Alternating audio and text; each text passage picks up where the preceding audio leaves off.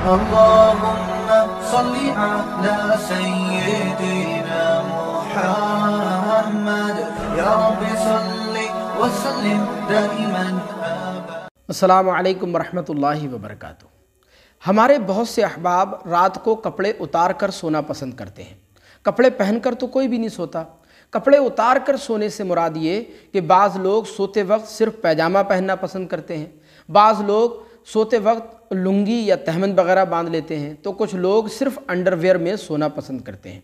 Underwear के बारे में थोड़ा सा मसला ये है कि बाज़ लोगों का ख्याल ये है कि अंडरवेयर पहनना ये नाजायज़ और हराम है, हालाँकि ऐसा नहीं है।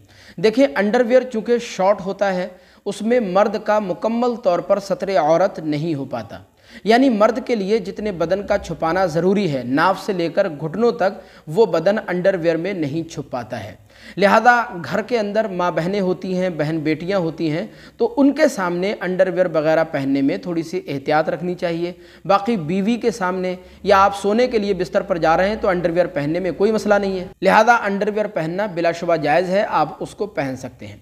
लेकिन जब आप नींद से बेदार होते हैं, सुबह में या रात के किसी भी हिस्से में, और आप कपड़े पहनना शुरू करते हैं तो जो तरीक़ा मैं आपको बताने जा रहा हूँ, इस तरीक़े पर अमल करते हुए अगर आप कपड़े पहनेंगे तो इन इससे आपको फ़ायदा होगा, सवाब भी मिलेगा, और आपके अगले पिछले तमाम गुनाह बख्श दिए जाएँगे।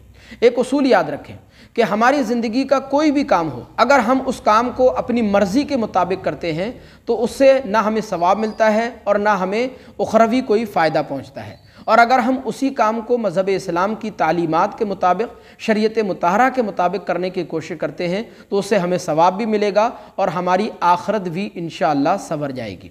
लिहाजा कपड़े तो आपको पहनना ही है, नींद से बेदार होने के बाद। तो जो तरीक़ा मैं आपको बताने जा रहा हूँ, इस तरीक़े पर अमल करते हुए आप कपड़े पहने इन सवाब भी मिलेगा और आपके गुनाह भी माफ़ कर दिए जाएँगे।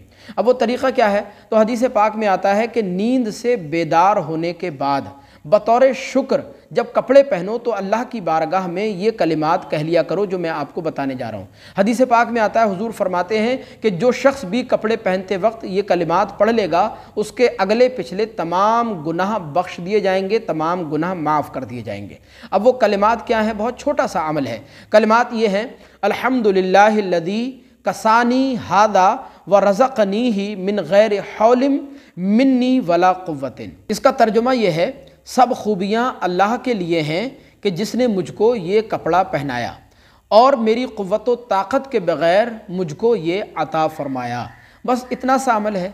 इसको पढ़ा लिखा इंसान भी कर सकता है, अनपढ़ भी कर सकता है। लिहाजा जब भी आप कपड़े पहने तो आप ये छोटा सा अमल कर लिया करें, इन अल्फाज को अपनी ज़ुबान से अदा कर लिया करें। इन आपको सवाब भी मिलेगा और आपके अगले पिछले तमाम गुनाहों को माफ़ कर दिया जाएगा। बतौर सवाब इस क्लिप को अपने तमाम मुसलमान साथियों तक पहुँचाइए, ताकि वो भी इस वीडियो से फ़ायदा हासिल कर सकें। असल वरहमल